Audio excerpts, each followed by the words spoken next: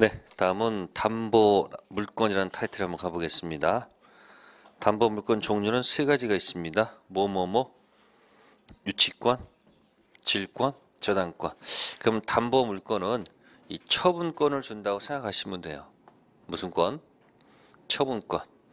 자, 그럼 여기서 유치권, 질권, 저당권에서 어, 먼저 그 유치권 같은 경우는 유치권 같은 경우는 이걸, 이걸 제목을 기억하면 좋아요. 갑이 등기가 돼 있다. 자, 이거 이거 위조를 해요. 뭐 한다고? 그래서 팔아 누구한테? 병한테. 병이 등기도 하고 현재 점유도 하고 있단 말이에요. 근데 우리 법제에서는 이렇게 얘기해요. 우리나라 판례는 을이 을이 권리자가 권리자 얘 권리자가 아니에요. 권리자가 아니죠. 그러면 이자가 무권리자예요. 무권리자. 무권리자예요.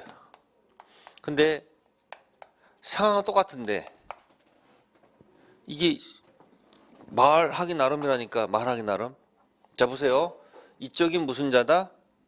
무권리자다. 그러면 여기다가 따라서 뭐라고요?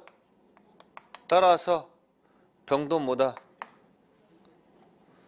따라서 너도 병도 너도 무권리자다. 이렇게 얘기할 수도 있고 또 하나는 여기가 무권리자죠? 근데 이 따라서가 아니고 뭐라고 뒤집는다고? 무권리자다. 반대말은 뭐예요? 아니 그러나 그러함에도 불구하고 병은 뭐다? 유권리자다. 이렇게 바뀌어갈 수 있다고요. 여러분들 이 사람이 권리자가 아니라는 것은 명확합니까? 명확하지 않습니까? 명확하죠? 근데 여기다가 이제 따라서 무권리자다 이렇게 해서 순접으로 가는 이건 역적 반대가 되잖아요. 그럼 우리 인생도 똑같아요. 현실 상황이 이런 상태야 아무것도 없어. 에? 근데 따라서 따라서 할 의욕도 없다. 뭐 해서 무슨 의미가 있을까? 이렇게 생각할 수도 있고 내가 현재 아무것도 없지만 그러나 그러함에도 불구하고 나는 뭐뭐서 할 거야. 어떤 거 선택하실 거예요? 그거 이거 이게 형이 낫잖아요. 그렇잖아요. 그 여러분들 이거 공부 왜 하러 왜 하러 왔어요? 지금 아마 돈이 많이 있고 있으면 여기 왔을까 안 왔을까? 돈 쓰러 다녀야지 여기 왜 와? 그죠? 뭔가 아직은 뭔가 좀 불안정한 게뭐 있으니까 그러함에도 불구하고 뭔가 해서 역, 역전시키러 온거 아닙니까? 그죠? 자, 그래서 우리나라는 이걸 취하지 않아요. 응? 이걸 취하고 있어요, 이거. 응? 그거 뭐라 그러죠? 이때 뭐라면 등기에 공신력이 없어서 보호를 못 해준다. 이쪽은 등기에 공신력이 있어서 보호를 해주겠다 이렇게 하는 거예요. 이게 뭐예요? 말하기 나름이에요. 아셨어요? 그러면 누가 웃고 누가 울어요? 누가 웃고 누가 울어요? 아유 갑이 살아났잖아요. 그죠? 갑이 살아 빵긋 빵긋 웃고 누가 슬퍼요? 병이 슬픈 거예요. 아셨어요? 그러면 이제 갑이 병한테 얘는 벌써 먹고 튀었죠. 결국 갑이 진정한 소유자를 구할 것인가 아니면 등기를 신뢰한 자를 구할 것인가 고민하는데 우리나라 법제는 뭐다? 등기에 없다? 공신력 없다. 자 그럼 방긋방긋은 갑이 소유자로서 이 병한테 공격합니다. 뭐로 공격할 것 같아요? 첫 번째 병한테 소유 등기를 지워라. 응? 그게 214조입니다. 214조 뭘까요? 소유물 방해 제거. 두 번째는 뭐 내놔? 뭐 내놔? 점유 내놔 하겠죠? 점유 내놔가 뭘까요? 213조 본권으로 점유를 내놔라 그런 얘기죠. 자, 갑은 병한테 204조를 쓸 수가 없습니다. 네? 그 이유는 침탈자로부터 연결된 특별 승계에게는 204조를 쓸 수가 없게 되어 있습니다. 그 수수는 213조밖에 없어요. 그러면 점유를 내놓으라 했을 때 등기는 지워주는 건 당연한 거고요.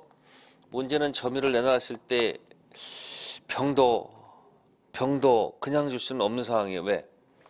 토지를 뭐 하면서 점유하면서 이 토지를 예쁘게 토목공사를 했어요. 무슨 공사? 무슨 공사? 토목공사를 했어요. 한 10억 정도가 들어갔어요. 얼마 들어갔다고요? 그러면 점유하면서 들어간 비용을 뭐 했다? 비용을 뭐 했어요? 10억을 뭐 했어요? 지출을 했잖아요. 그죠? 그러면 이 비용은 지출하는 것을 뭐 해달라? 돌려달라. 예? 비용 상환 채권을 요구할 수 있다 그 얘기예요. 그러면 이 채권은 자 점유는 본권 아닌이죠. 네?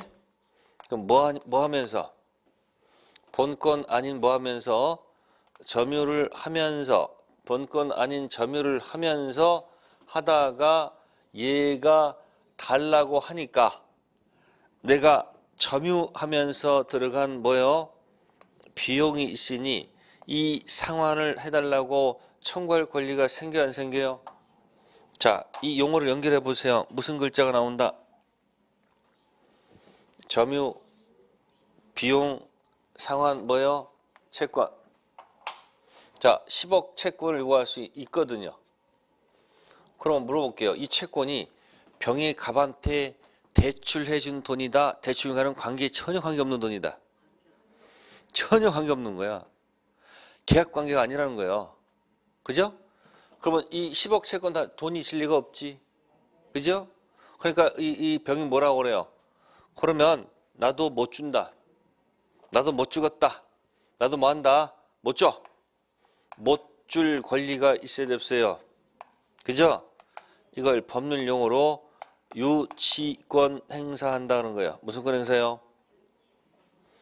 자, 유치권은 번권이다, 번권이 아니다. 번권이 유치권이죠? 그러면 번권 유치권이 어디 밑에 깔려 들어갑니까? 잘 보라고요. 본권 아닌 점이 밑에 깔려 들어가 가지고 이렇게 움직이고 있다. 그 얘기가 지금 이렇게 이게 유치할 권리가 생겼을 때 우리는 이, 이 병을 뭐라 한다? 병을 뭐라 한다? 무슨 권자라 한다? 유치권자라 한다. 그 얘기예요.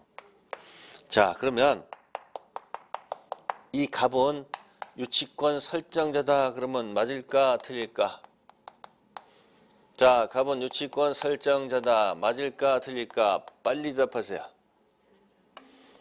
설정자 일 수가 없습니다. 아셨습니까? 전혀 아닙니다. 이건 무슨 관계가 아니기 때문에 전혀 관계 없는 거예요. 그러니까 본권 유치권은 본권 아닌 점유권 밑에 깔려 들어오는 거예요. 그럼 이렇게 점유하다가요. 이렇게 점유하다가 그러면 뭐가 될 때 같이 뭐가 도는 거야 이제. 이 채권 때문에 뭐하고 같이 돌아가 이게 같이 마무리 돌아가잖아요. 그러다 점유가 뭐가 되면 상실되면 본권 유치권도 상실됩니다. 그러다가 상실했다가 점유가 뭐 하면 점유가 뭐할 수만 있으면 부활할 수 있으면 모두 부활한다. 본권 유치권도 부활합니다. 어, 그럼 이 말씀에 뭐가 있는 걸까? 뭐만 살려내면 본권 아닌 점유권만 살려내면 본권 유치권이 살아나잖아요. 그러니까 유치권에서는요.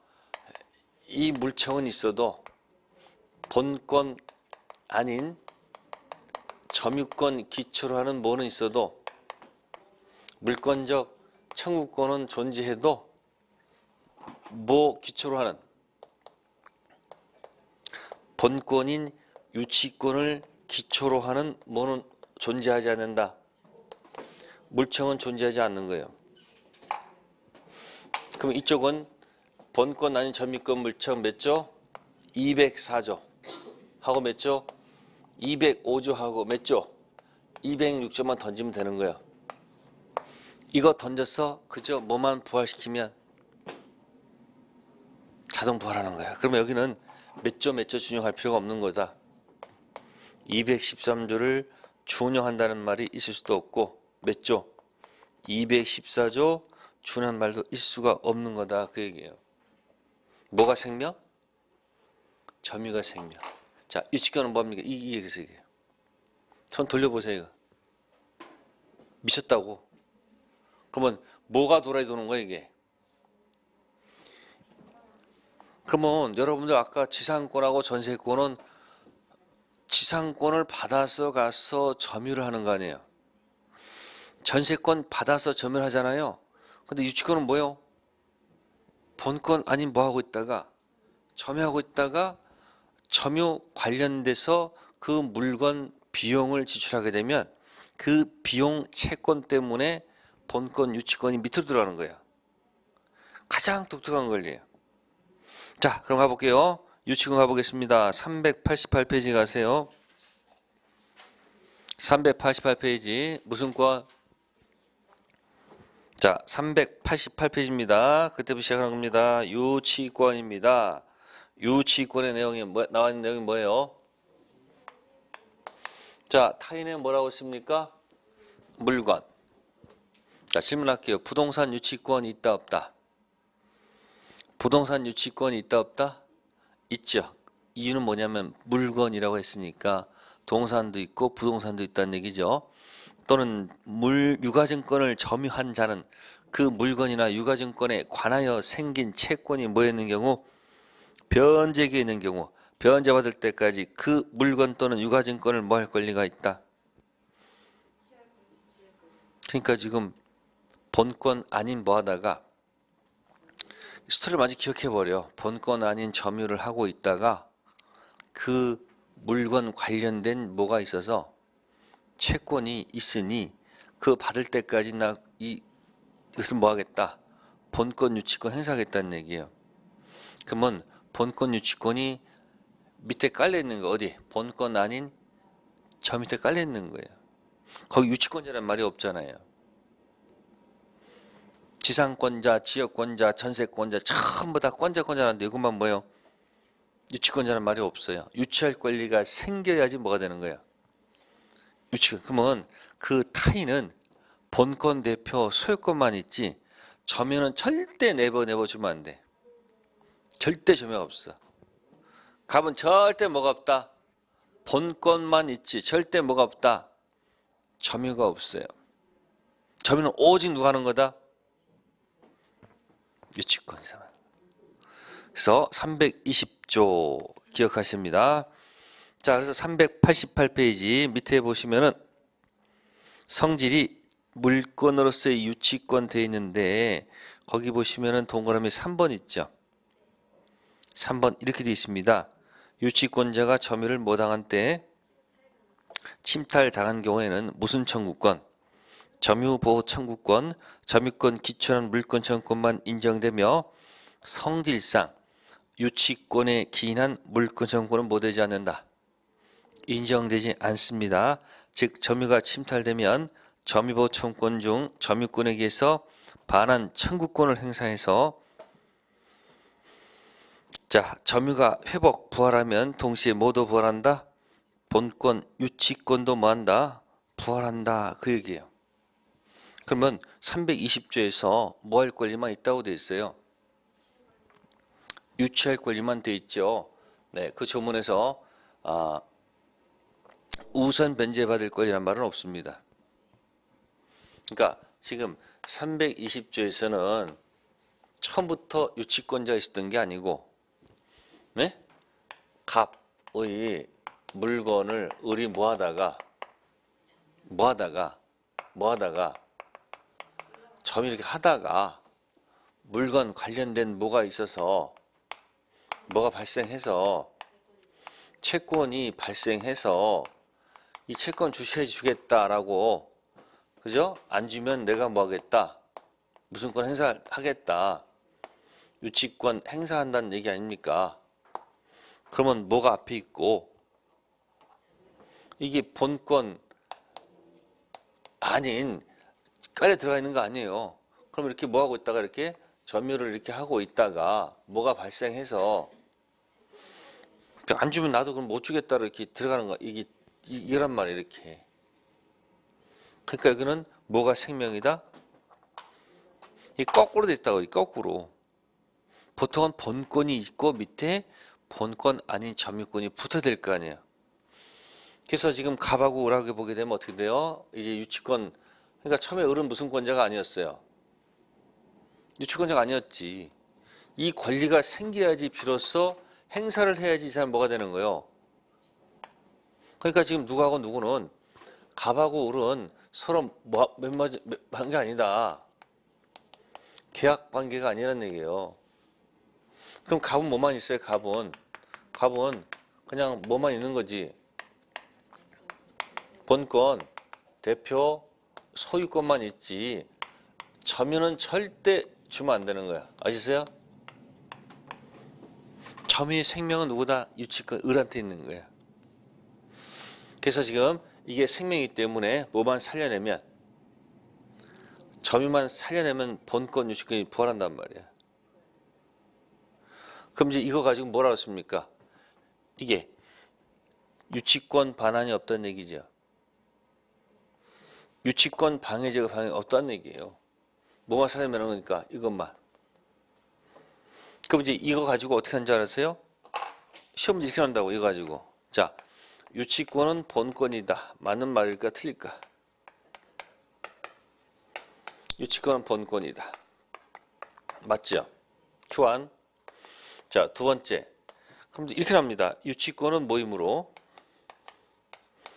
유치권은 본권, 자 보세요. 임으로, 임으로. 네. 유치권을 기초로 하는 물청이 있다. 그러면.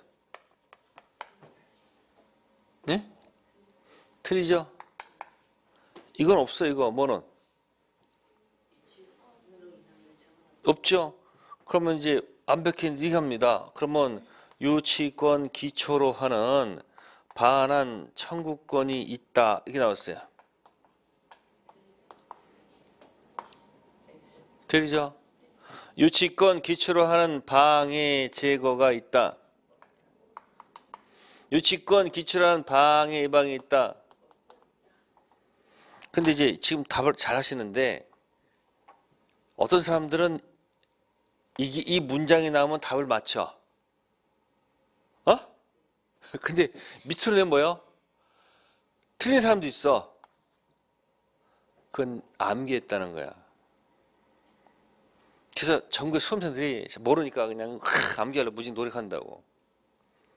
암기하지 마시고 뭐야 이해를 하셔야 돼.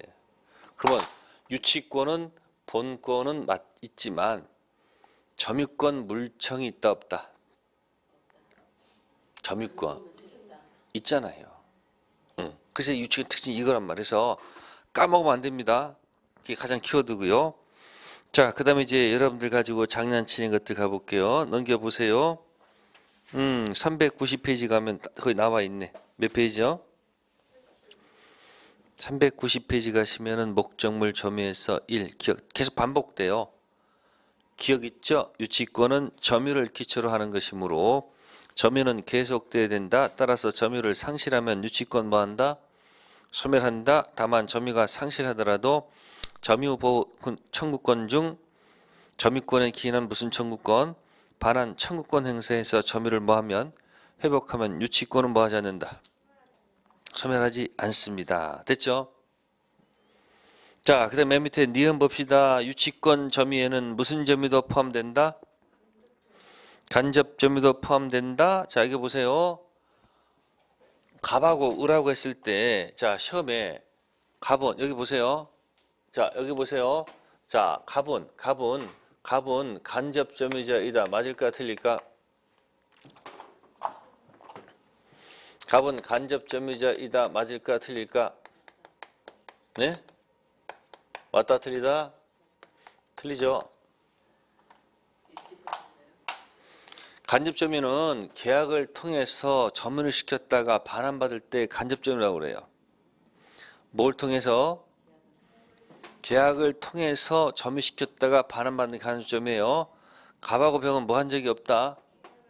계약한 적이 없기 때문에 무슨 점유자가 아니다. 간접점유자가 아니에요. 네? 그럼 이제 을이 현재 뭐 하고 있어요? 을이 현재 직접 점유하고 있잖아요. 그죠? 응? 그럼 여러분 이런 경우 있잖아요. 갑의 건물을 갑의 건물을 공사하다가 공사대금 채권이 있어서 그 물건을 뭐 하고 있다? 유치권 행사하고 있어요. 그럼 생각해 보세요. 빈 건물을 그냥 유치하고 있단 말이에요, 지금. 그러면 그냥 빈 공간으로 유치하는 것보다 예? 이걸 다른 사람한테 뭐 해서 임대해서 뭐 해서 임대해서 이 채권 회수하는 것도 방법, 방법이 될 거 아니에요. 그러니까 을이 갑한테 가서 허락을 받는 거야. 내가 이 부동산을 뭐 할 테니까. 빈 공, 났잖아요. 그러면 이걸 임대해 가지고 뭐 보증금 이런 걸 전부 다 공사대금 채권을 전부 다 뭐 해서 이렇게 제시키면 훨씬 효과적이잖아요. 그냥 빈 저걸 갖다가 3년, 2년 이렇게 방치하는 것보다는 그래서 갑에 뭐 얻어서 뭘 얻어서 허락을 얻어서 우리 이것을 뭐 한다면 임대할 수도 있어요 없어요?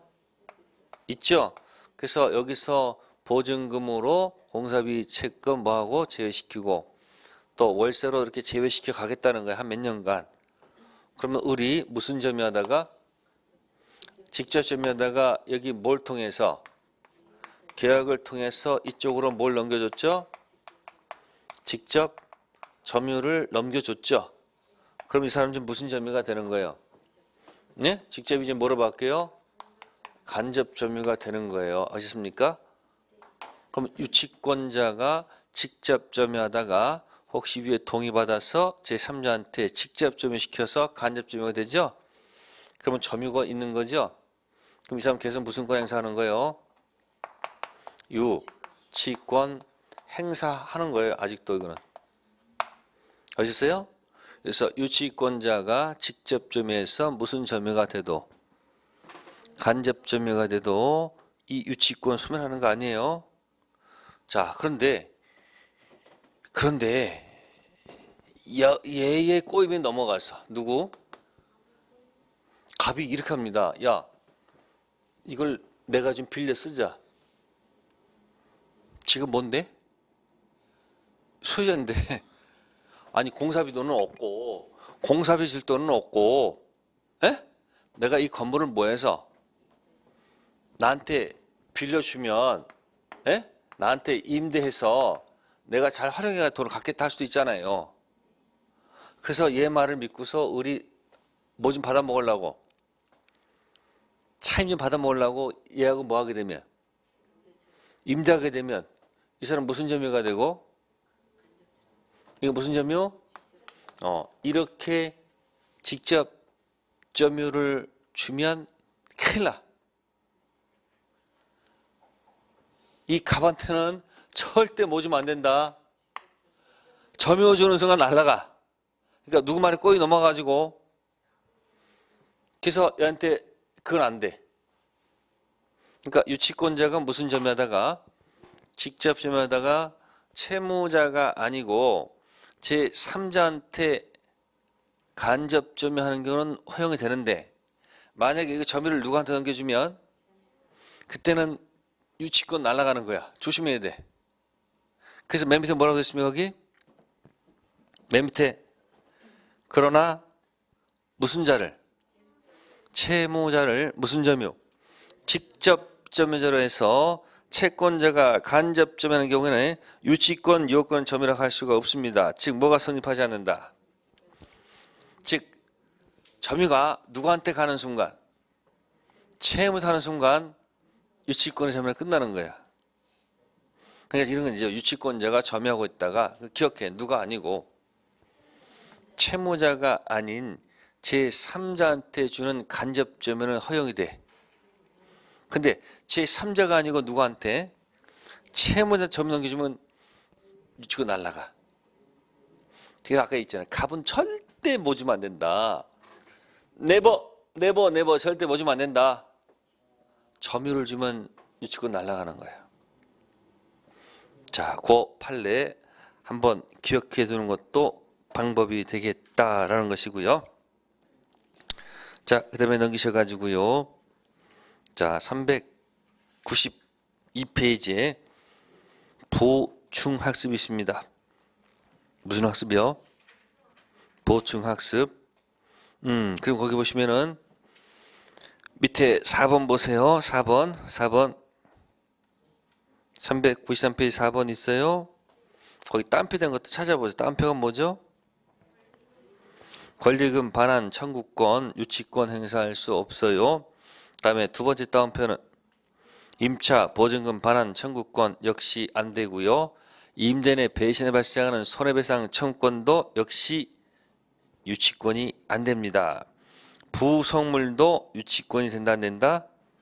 안 됩니다. 그럼 거기 하나, 둘, 셋, 네 개 색깔 칠하세요. 권리금 두 번째는 임차 보증금 세 번째는 손해배상 청구권 네 번째는 뭐다? 부속물 몇 청구권 됐습니까? 됐습니까? 나 그러면 이제 권리금 가지고는 유치권이 된다는 거예요, 안 된다는 거예요? 안 됩니다. 그러면 제가 보세요. 한 방에 해결하는 방법 설명드릴 테니까 임대차 하게 되면 임차인 관련돼서 무슨 문제도 있고요. 권리금과 유치권 또 보증금하고 무슨 권 유치권 되느냐? 또뭐 있습니까? 뭐죠?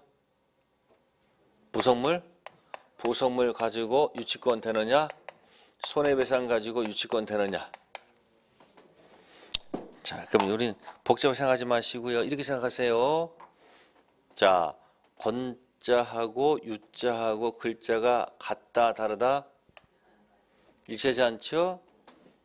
보증금하고 유치권 글자가 같지 않죠? 이거 그- 같지 않죠? 같지 않죠? 유치가 안 되는 거예요. 그게 그게. 네 가지.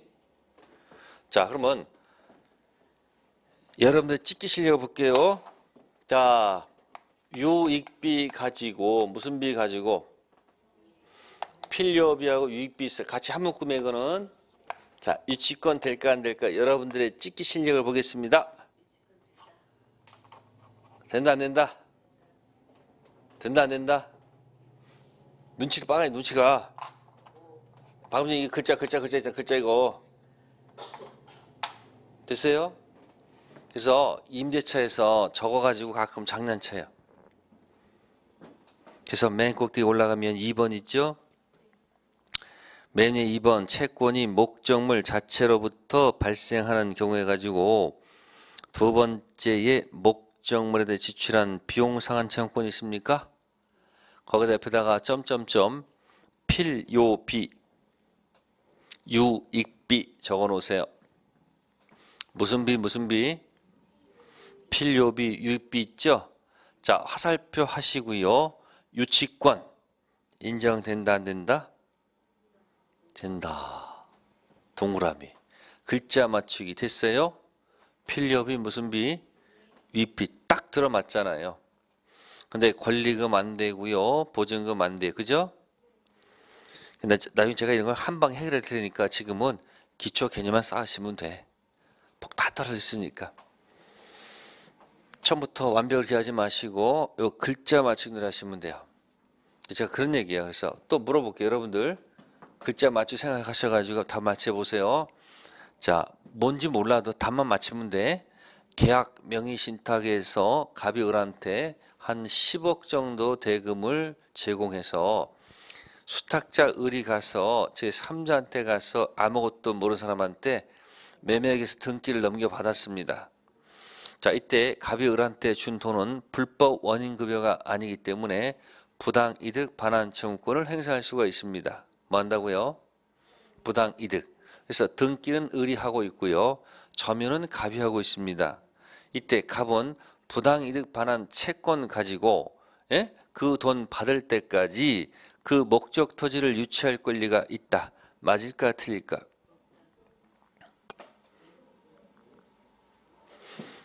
부당 이득 반환 청권 가지고 유치권 행사할 수 있다 없다 물어봤어요.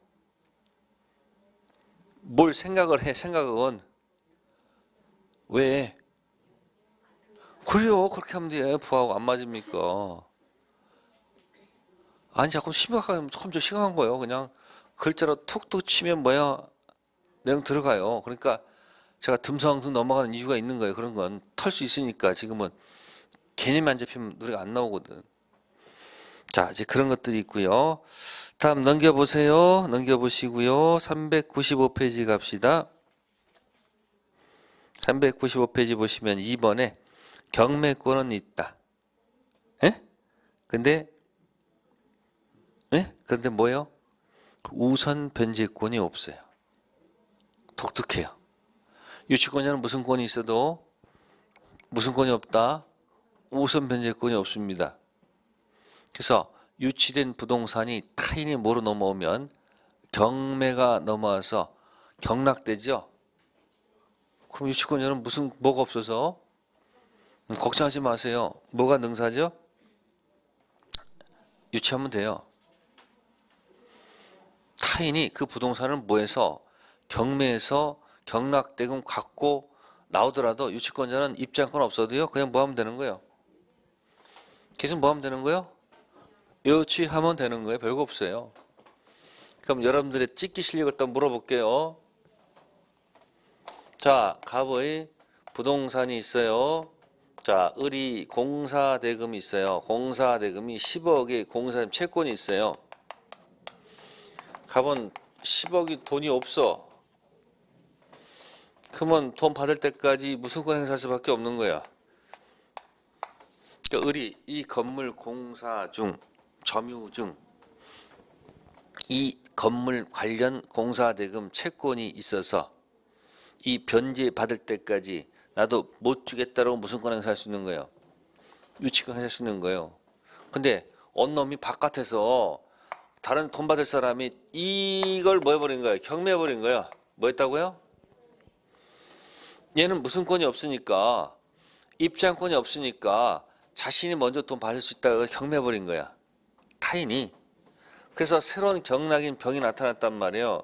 그래서 경락대금을 다 뭐하고 완납하고 수익권 취득한 거야 병이. 엄청 싸게 샀어. 1억 주고 샀어.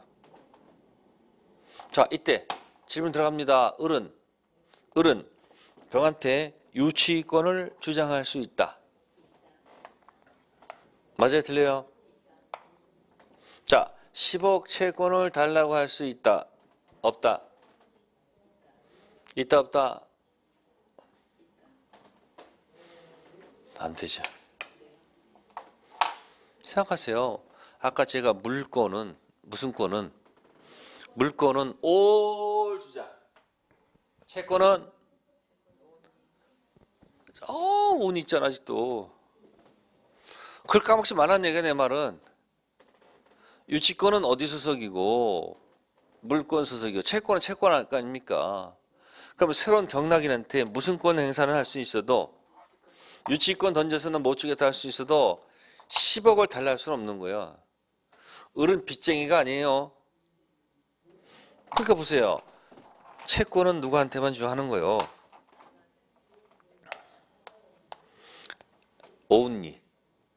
유치권은 이쪽 저쪽 다 하잖아. 올. 그럼 출제가 이 시험에 이거 어떻게 낼까? 시험에 이것을 정신 몽롱한 학생들한테 어떻게 낼까? 에? 새로운 경락인한테 유치권 and 채권 함께 행사할 수 있다. 그렇게 내겠지. 틀린 얘기예요.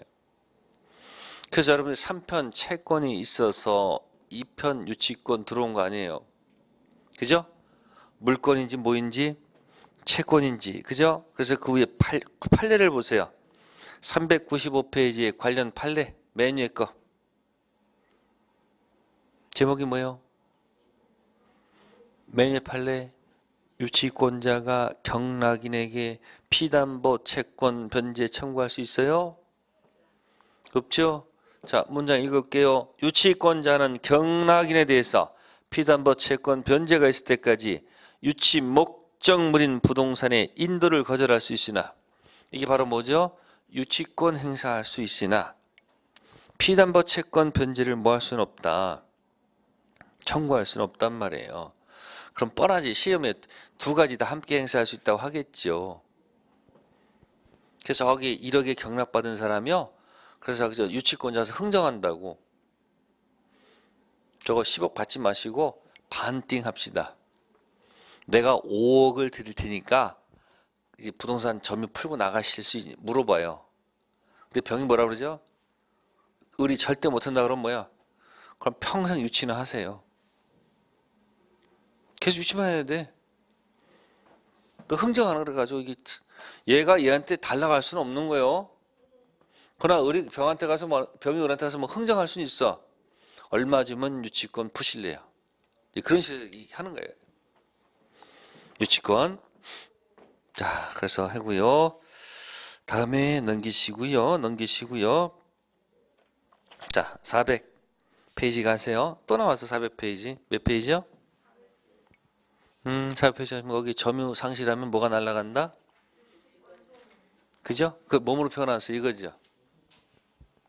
그럼 거기다 상실 위에다가 부활을 써봐요. 부활. 상실 위에다가 부활. 그러면 유치권 소멸할 때 소멸 위에다 뭐 쓰면 돼요? 부활하면 돼.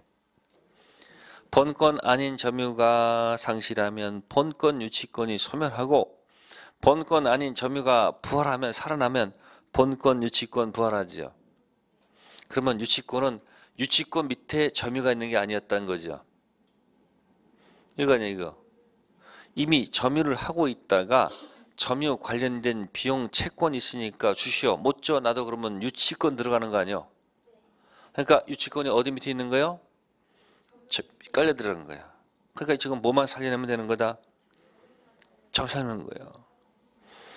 그래서 본권 유치권 살한다는 겁니다. 네, 유치권 요 정도 합시다. 네, 잠시 쉬었다 하겠습니다.